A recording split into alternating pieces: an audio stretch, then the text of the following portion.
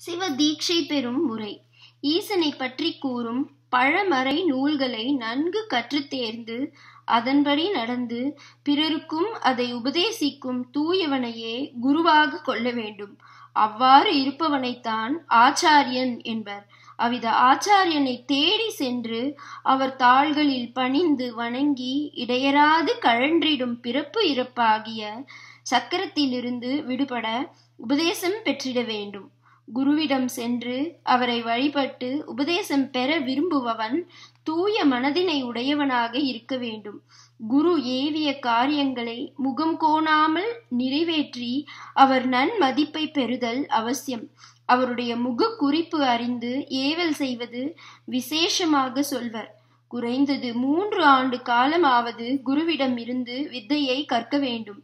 வித்தைகளை கற்று தேர்ந்த பின் அவன் இன்பத்தையும் துக்கத்தையும் சமமாக கருதும் மனப்பக்குவம் பெற வேண்டும். கொலை களவு பிறரிடம் கோபம் கொள்ளுதல் ஆகியவற்றை அவன் அறவே ஒழித்திட வேண்டும். பிறருக்கு இன்பமே நினைத்திடல் வேண்டும்.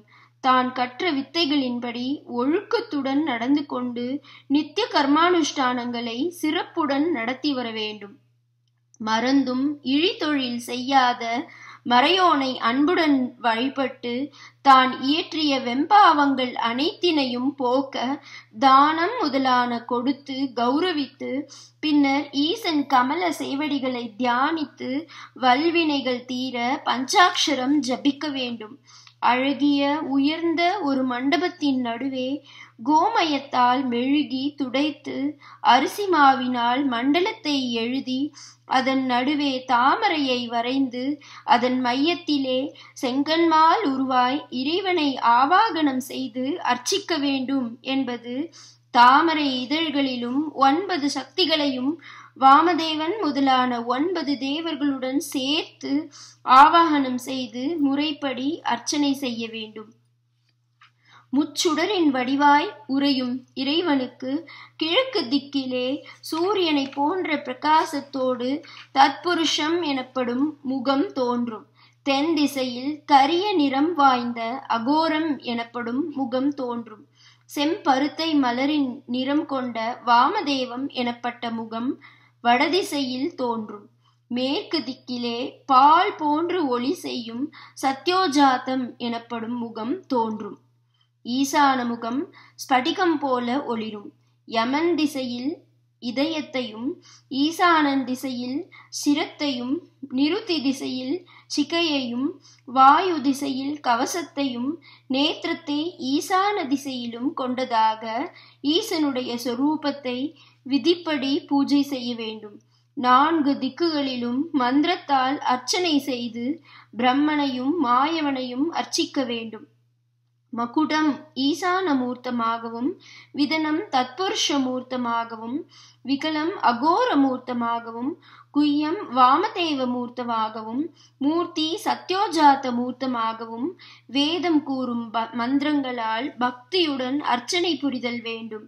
சிறந்த ஒளிரும் வதனங்கள் ஐந்தோடும் தின்தடந்தோல் பத்தினோடும் உறையும் சிவனை பூஜித்து திக்குபாலர்களையும் வழிபட வேண்டும்.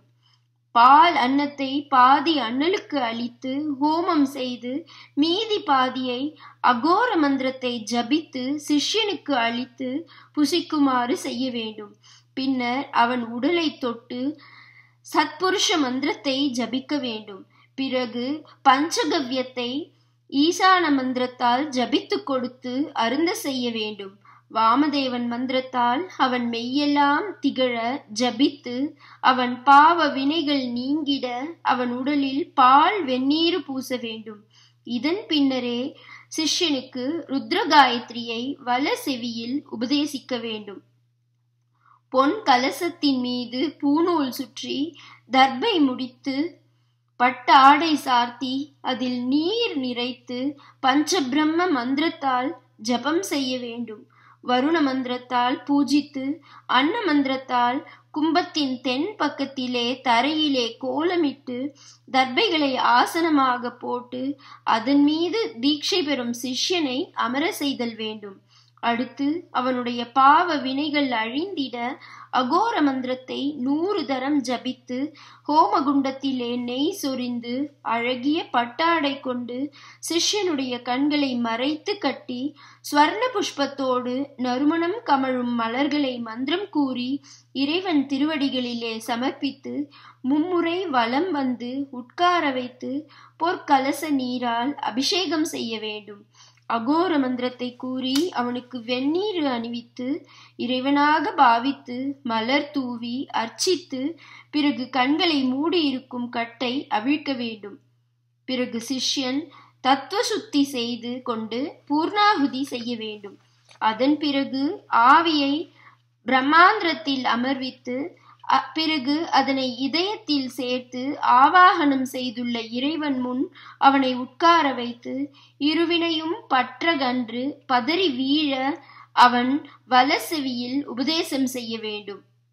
இவ்விதம் தீட்சை பெற்றது முதல் அவன் உயிர் போகும் காலம் வரை தினமும் சிவபூஜை செய்து வர வேண்டும்.